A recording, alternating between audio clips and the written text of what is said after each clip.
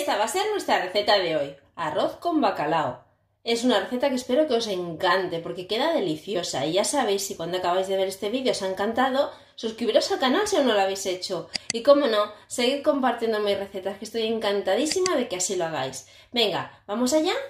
Para esta receta de hoy necesitaremos cebolla, bacalao, guisantes, pimiento, tomate, arroz, agua, sal y aceite. Y ya sabéis que cantidades e ingredientes como siempre detallados al final del vídeo y abajo en la casilla de información. Lo primero cogemos una cazuela baja, le añadimos 3 cucharadas de aceite de olivas soperas y le añadimos nuestra cebolla que como ya habéis visto previamente ya estaba rallada. Cuando tengamos la cebolla casi lista le añadimos también el pimiento verde que como veis yo lo tengo cortado bien pequeñito. Y ahora lo hacemos también conjuntamente. Cuando ya esté listo le añadimos también el tomate triturado natural. Y ahora lo iremos haciendo poquito a poco. Sazonaremos un poquito, pero recordad, no mucho, porque el bacalao seguirá soltando su salazón. Vamos a sazonar un poquito. Listo, no más. Y como veis, ahora ya tengo aquí un cazo con agua también podéis haber utilizado caldo, un fumet, lo que tuvierais. Yo en este caso lo voy a hacer con agua. Lo ponemos a calentar a fuego medio y así una vez acabe el sofrito tendremos el agua lista. Mirad, el bacalao que yo voy a utilizar es este, que lo he comprado así en tiras y lo he desalado. He dejado tres tiras así enteras para luego decorar mejor nuestro plato.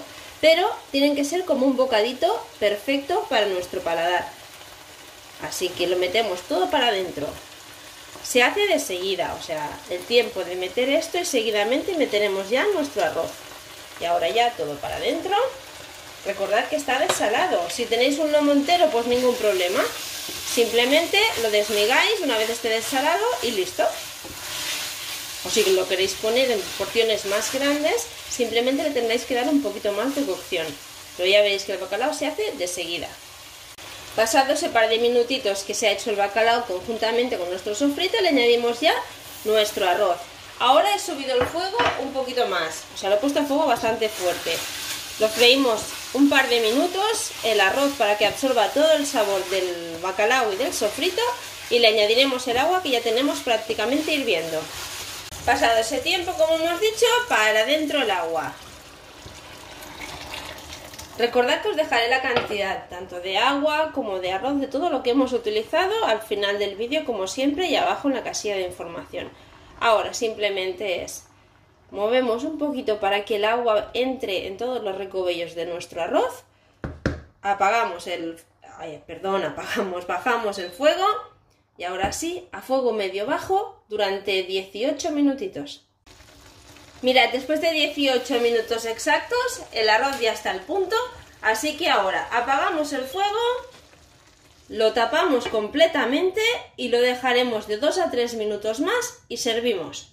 Bien amigos, pues esta ha sido nuestra receta de hoy. Espero que os haya encantado y que os animéis a hacerla, porque ya veis que el resultado es increíble. Y como no, os animo a suscribiros al canal si no lo habéis hecho. Venga, nos vemos en la próxima, ¿eh? No olvidéis compartirla. ¡Hasta pronto!